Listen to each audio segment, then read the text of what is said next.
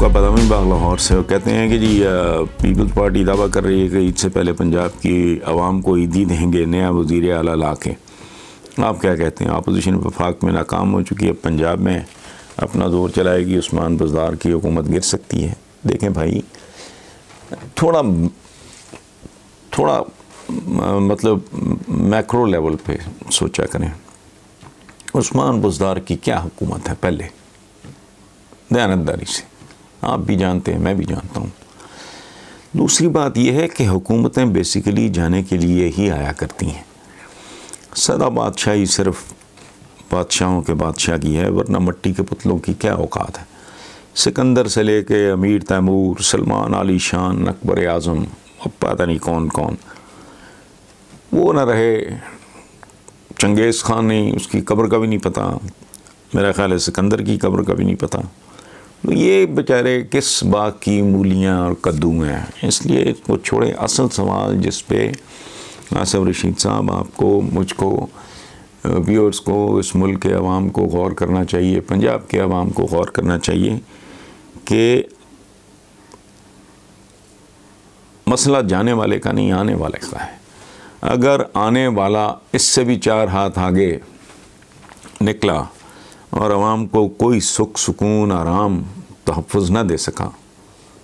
तो तब्दीली आ भी जाएगी तो उससे क्या फ़र्क पड़ता है? बद से बदतर का सफ़र तो हम तिहत्तर साल से, बहत्तर साल से, सत्तर साल से देख रहे हैं। और बदनसीबी देखें, मैंने जब से होश संभाला है, बिल्कुल ही छोटे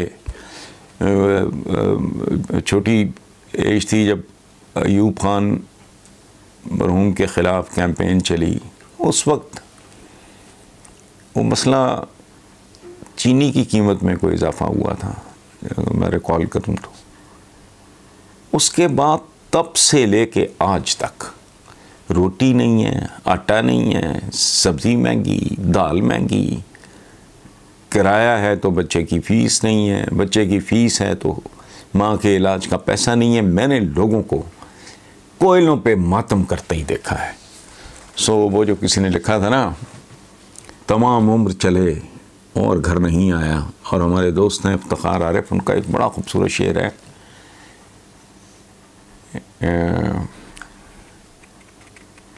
मेरे खुदा, मुझे इतना तो मोतबर कर दे। मेरे खुदा, मुझे इतना तो मोतबर कर दे। मैं जिस मकान में रहता हूँ, उसको घर कर दे। मकान तो किराए का होता है, घर अपना होता है। ये मुल्क, और जब मैं मुल्क की बात करता हूँ तो उसके निज़ाम की बात कर रहा होता हूँ, ये मुल्क अभी तक अपने आवाम के लिए मकान है, घर नहीं बना। सो, कोशिश ये होनी चाहिए, सवाल जहनों में ये होना चाहिए, नज़र इस बात पे होनी चाहिए, फोकस इस बात पे होना चाहिए कि हमने बहुत कर लिया। आवे आवे तो तेरा बुटो तेरा नाम रहेगा तो चाँद रहेगा तो फलां के नारे बजणगे और फलाना टमकाना ये सब कुछ करके देख लिया। अब ज़रा ना थोड़ा आँखें खोल के, होश व हवास के साथ, बग़ैर ज़मीर बेचे, बग़ैर आशकी, माशूकी के, ये लीडर्स आते हैं बुनियादी तौर पे, ये चाकर होते हैं, बेसिकली। ये कायदीन वायदीन का ज़माने नमूने लद गए अब। बेसिकली ये आते हैं डिलीवर करने के लिए। अगर डिलीवर करते हैं तो सुबह अल्लाह बहुत अच्छा है। अदरवाइज़ जूते मार के फारग करो तो दूसरा मौका ना दो किसी को। लेकिन जब तक हम नहीं बदलेंगे, तब तक ये नहीं बदलेंगे। और जब तक हम दोनों नहीं बदलेंगे, तब तक इस मुल्क के हालात भी नहीं बदलेंगे। थैंक यू पहली बात तो ये है कि पाकिस्तानी अवाम महँगाई में पिस नहीं रही। पाकिस्तानी अवाम महँगाई में पिस रहे हैं। आपने कभी नहीं सुना होगा कि आम आदमी ये करती है, आम आदमी ये कहती है, आम आदमी यूँ पिसती है। नहीं। तो जब उसकी जमा होती है तो उसको हम क्यों? ये बहुत सारी जहालत हमारे चैनल्स पे चल रही है। हमारे 99 परसेंट पॉलिटिशन भी यही बात करते हैं ये अवाम को मुजक्र से मुन्नस कर देते हैं। मुझे समझ नहीं आती, इनको बताने वाला भी कोई नहीं है। खुद ही अपनी अकल इस्तेमाल नहीं करते। मतलब इतना ही बंदा सोच ले कि अगर कभी किसी आदमी से आप ये नहीं सुनोगे कि आम आदमी ये कहती है, आम आदमी आ रही है, आम आदमी जा रही है। वो तो आ रहा है, जा रहा है। जब वो जमा हो जाते हैं तो मुन्नस हो जाते हैं। प्लीज़ आइंदा एहतियात करें। आवाम का और तो कुछ आपने तब्दील करना है, नहीं करना है, कम अज़ कम उनका जेंडर तो तब्दील ना करें। मुजक्कर से उसको मुन्नस ना बनाएँ। अच्छा दूसरी बात यह है, फैज़ान साहब, कि तब्दीली सरकार ने तो सिर्फ़ तब्दीली का वादा किया था। हम और आप कितने खुशकिस्मत हैं कि तब्दीलियों की लाइन लगी हुई है। और आप इतने नाशुक्रे हैं, मैं शामिल हूँ आप, क्योंकि तारीफ़ की बजाय तनकीद कर रहे हैं। अच्छा जहाँ तक इस सवाल का ताल्लुक है, क्या हम अज़र महँगाई कम कर पाएँगे? और क्या काबीना में मज़ीद तब्दीलियाँ होंगी? बिल्कुल होंगी। इनका ट्रैक रिकॉर्ड है आपके सामने है। बाकी एक बात याद रखें आप हमाद अजहर मेरे तो छोटे भाइयों की तरह हैं, क्योंकि मियाँ अजहर जो हैं, उनके वालद, वो मेरे बहुत करीबी दोस्त हैं। महँगाई कम हो नहीं सकती। ये एक बात समझ लें। महँगाई की हैं दो किस्में। एक है जेनुअन महँगाई। वो तो किसी का बाप नहीं ख़त्म कर सकता। आप अगर इनपुट्स की कॉस्ट बढ़ा देंगे पेट्रोल भी बढ़ जाएगा, बिजली भी बढ़ जाएगी ट्रांसपोर्टेशन के अखराज भी बढ़ जाएँगे। ओ भाई, कौन कम करेगा? अगर दस रुपए की चीज़ लेके कोई नौ में कैसे बेचेगा? सो दो किस्में मैं अर्ज़ कर रहा हूँ, महँगाई की होती हैं। एक असली जैनवन महँगाई, एक होती है मसनू महँगाई।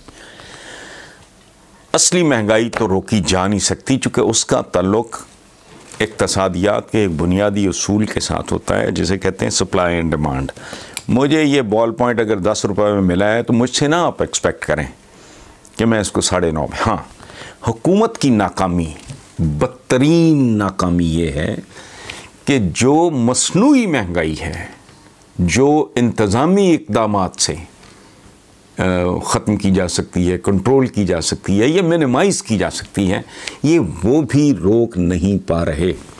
सो फैज़ान साहब इस बात को प्लीज़ आप अच्छी तरह समझ लें कि जो जो महँगाई है जेनवन महँगाई है, वो तो नहीं रुक सकती।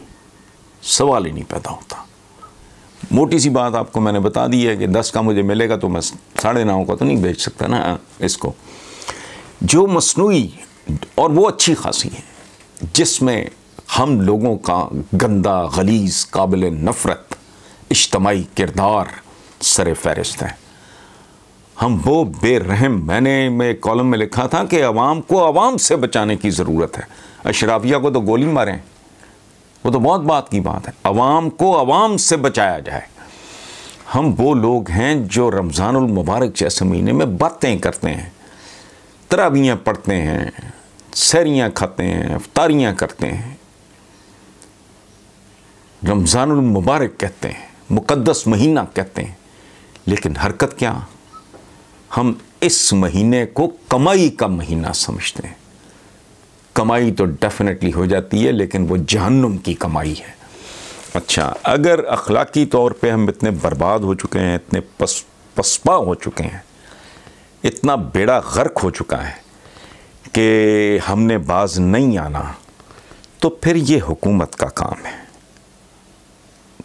कि वो बंदोबस्त करे इस तरह के ज़ख़ीरा अंदोज़ों का ब्लैक मेलर्स का, और बज़ोर बाजू जिसे कहते हैं ना, जबर के साथ इस पर कंट्रोल करें।